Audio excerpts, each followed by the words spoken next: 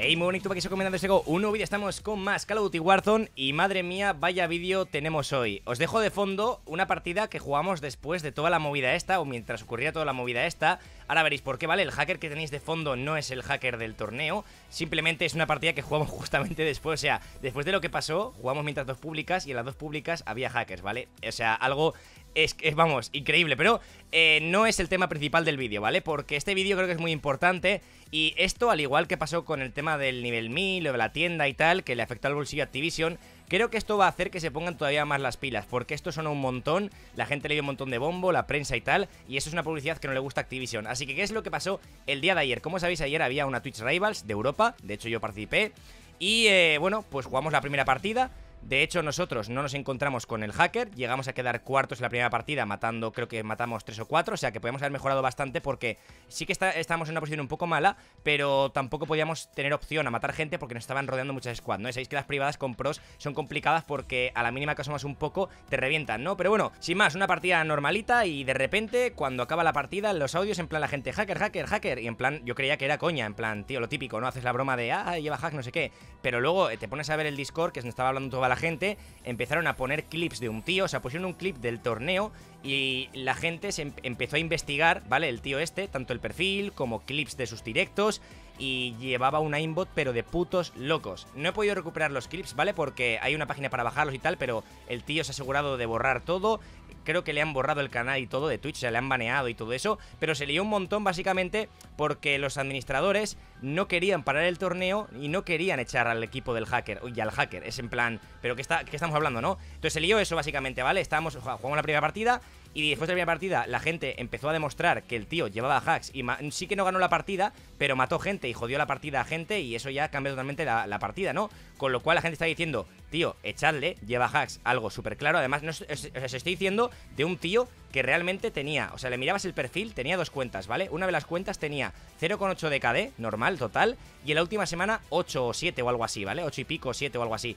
Con eh, 60 y pico por ciento de tiros en la cabeza, algo así. Y el otro perfil con el que jugó, si no me equivoco, la, la Rivals tenía 100% a ese momento, ¿vale? Luego lo bajó, creo, jugando públicas o algo, pero tenía 100% de cabezas los últimos 7 días con un KD de 8 o 9 o algo así, o sea, y es que veías los clips, o sea, tanto el clip del torneo, que era súper vasto porque disparaba a través de paredes sin ver a nadie, algo eh, súper exagerado, como os digo, todo tiros en la cabeza, traqueando perfecto a través de paredes, además el tío jugando contra aquel ratón que dices, tío, a lo mejor algún tiro suelto puede ser ayuda de tiro del mando, pero es que ni eso, era algo muy exagerado, o sea, es que seguía la gente desde las paredes, eh, solo cabezas, tenía clips, o sea, un clip que he puesto por Twitter, que no he podido recuperarlo, en Alcatraz, literalmente el tío, con un cargador de 58, se carga creo que a 5 o 6 personas, traqueando perfecta la cabeza en movimiento y en diferentes alturas una locura, ¿vale? O sea, una puta locura. Y dices tú, pero ¿cómo este tío cómo este tío está jugando una Rivals, se clasificó por Open, es decir, no le invitaron, sino que hay un torneo abierto para la gente que quiere inscribirse de Europa y se clasificó, ¿vale? Entonces ya de por sí le quitó el puesto a un equipo, a unas personas que lo merecían más que él. Pero ¿cómo puede ser que nadie se diese cuenta en ese torneo de este tío algo tan exagerado? Porque no es un tío que dices tú, bueno, lleva wallhack, lo puede disimular, lleva un poco de aimbot, un poco, un poquito al pecho, yo que sé, algo, ¿no? Pero este tío iba todo cabezas. Es un tío, o sea, no es conocido, ¿vale? Para que no hagáis en plan paranoias mentales. No es ningún streamer conocido ni nada de eso. Es un tío que hace streamings y tal. Tiene su canal de YouTube que ya ha borrado, por supuesto. Eh, ya le han baneado el canal de Twitch. Los, los clips están ahí perdidos. Alguien los descargó, por supuesto. Y alguno podéis encontrar por YouTube. Pero vamos, que algo súper exagerado, ¿vale? Y a lo que iba, ¿no? O sea, lo que pasó, básicamente, y por lo que se lió, es porque, vale, ya de por sí que haya un hacker en el torneo es algo que dices tú, tío, no me cabe en la cabeza. ¿Cómo puede haber un torneo oficial de 75 mil dólares y haya un hacker? Pero es que todavía no me cabe más en la cabeza que los admin no lo quieran parar. Que revisaron el clip y que no les parecía que llevase nada. Eh, esta gente no ha jugado Warzone en su vida o ha jugado muy poco. Porque, vamos, de los ciento y pico que estábamos jugando, 140 que estábamos jugando, 150, eh, ahí hay muchos profesionales que llevan muchos años jugando y que compiten y viven del juego y que son de los mejores del mundo. Y si esa gente, no solo, o sea, yo no estoy hablando de mí, ¿vale? Yo estoy hablando de gente que es mucho mejor que yo. Yo también vi el clip y evidentemente también opino lo mismo. Pero si esa gente te está diciendo que el tío lleva chetos, coño, tómate tu tiempo en revisarlo bien, porque dice, no es que le hemos revisado el PC, sí, después de 10 minutos, que ya el tío ha quitado todo, ¿sabes? O sea, el tío ha quitado todo, ha cerrado el administrador, habrá instalado todo, y de hecho, luego el tío, la segunda partida que ya la jugamos por jugar, o sea, en plan, estábamos súper cabreados, en plan, pero ¿cómo puede ser? Ya no solo reiniciar la partida anterior, que dices tú, bueno, no importa que no reinicien la partida, deberían reiniciarla porque es injusto para la gente que ha matado al hacker y tal, porque la partida ha cambiado totalmente, pero más allá de no reiniciar la primera partida, ¿cómo permites que este tío siga jugando y cómo permites que su equipo siga jugando? O sea, ya estábamos súper cabreados, la segunda partida directamente casi ni la, ni la jugamos y a partir de la segunda partida dijimos, tío, o sea, más allá del dinero que da el, por jugar el torneo, que ya al final los torneos los juego pues para divertirme yo, para aprender, porque son torneos únicos, son privadas que no se pueden jugar todos los días contra gente que es muy buena y se juega totalmente diferente a las públicas, ¿no? Y además es un contenido que en directo os gusta mucho a vosotros porque os gusta verme jugar torneos y todo eso. Yo lo hago por eso, y no soy un jugador profesional, yo soy creador de contenido, pero que de vez en cuando pues juego torneos y ya está. No soy el mejor de España, no soy el mejor del mundo, pero eh, siempre intento traer lo mejor de mí y que sean divertidos los vídeos, los directos y todo eso.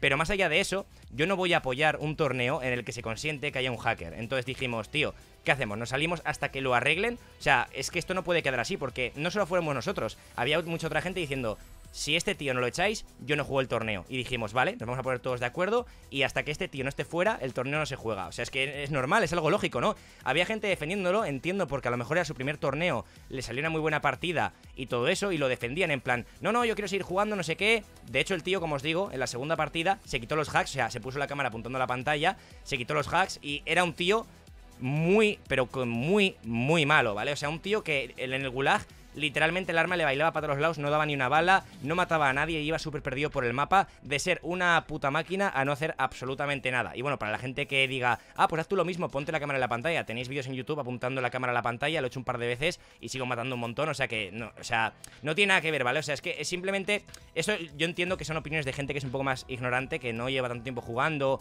o viendo lo que sea vídeos de gente o contenido, pero es que es evidente cuando alguien utiliza trampas y cuando tú sabes del juego en sí que alguien utiliza y era ese tío era muy evidente porque había un montón de clips. Estaba el tema de que también el mayor donante de su canal era el dueño de Engine Owning, que es la página más famosa que vende hacks, que hay muchas, pero es la más famosa.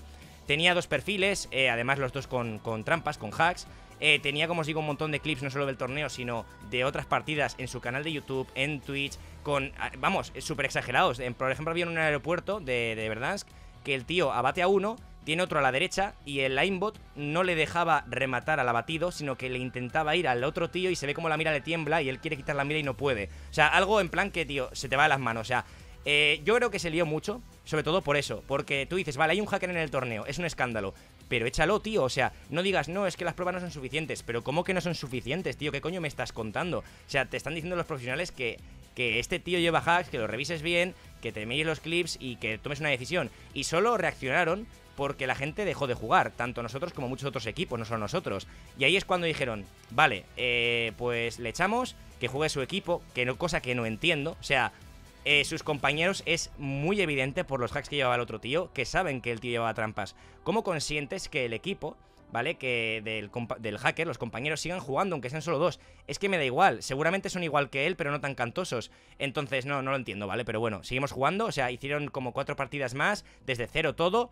Y bueno, sin más, eh, ya estábamos un poco rayados del tema, pero sí que es cierto que tampoco se pudo hacer mucho más y quedamos creo que en los 30 y algo, algo así. Sin más, un torneo que pudimos hacerlo mucho mejor y también tener un poco más de suerte, pero es lo que hay en las privadas de un Battle Royale, ¿no? Eh, la otra vez lo hicimos muy bien, esta vez lo hemos hecho mal, es lo que hay, ¿no? Pero bueno, que al final es un Battle Royale, es un poco random, ¿no? Pero el caso es que había mucha gente que decía eso, que nosotros y mucha gente nos retirábamos porque habíamos hecho una primera mala partida, ¿vale? Y que la segunda, pues evidentemente prácticamente ni la jugamos porque además había gente que se había pirado ya y todo eso, ¿no? Pero vamos, que, que la gente estaba como diciendo, eh, claro, como queréis que reiniciar porque habéis hecho una mala partida, es como, no, tío, o sea, no vamos a ser hipócritas, ¿vale? O sea, seguro que tú, y esto no lo digo por nadie en concreto, ningún streamer, ningún jugador, sobre todo por la gente del chat, que había gente en el chat que fue a tirar un montón de mierda a todos los lados y todo eso, eh, no hay que ser hipócrita, ¿vale?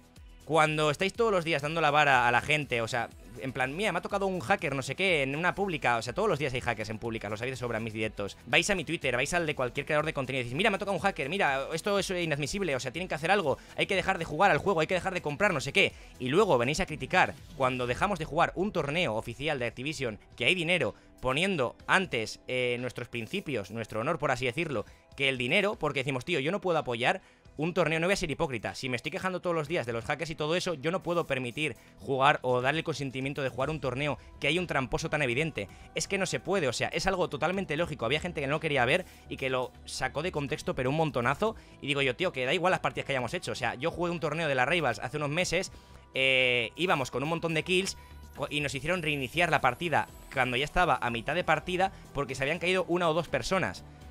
Y ya está, y se reinicia, y a tomar por culo, ahí salió el meme de reset que tenemos en, en Twitch, ¿no?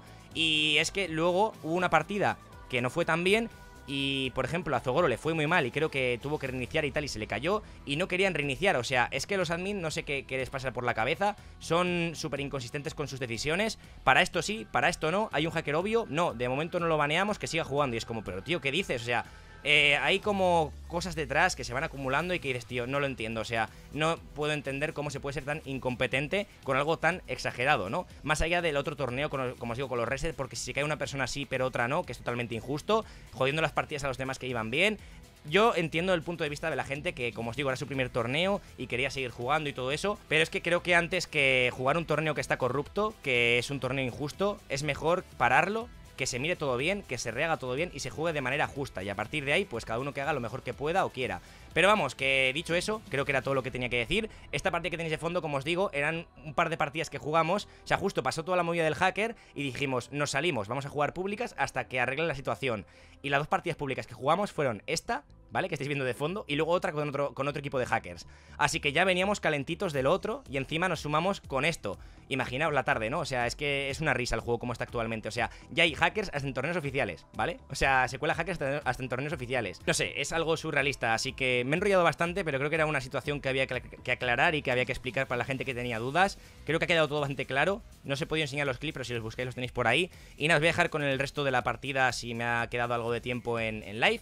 Y nada, pues eso, dentro de poco mañana tenemos otro torneo de cuartetos de privadas. Va a ser, un, va a ser una locura cuartetos privadas, pero bueno, a ver qué tal sale. Y dentro de una semanita o dos tenemos un torneo muy especial que ya os comentaré. Así que dicho eso, os dejo con la partida y por supuesto felicitar a todos los españoles que hicieron un gran papel en el torneo, que aparte de tener suerte hay que hacerlo muy bien, por supuesto. Así que felicidades y me alegra que por lo menos hayan invitado un montón de españoles para este torneo y que eh, pues se pueda hacer destacar un poquito más a la gente que hay aquí, que es bastante buena en general, y que cada vez haya más gente en los torneos, suba el nivel y que nos tengan más en cuenta para más cosas. Así que nada, chavales, os con el resto del vídeo. Espero que os mole.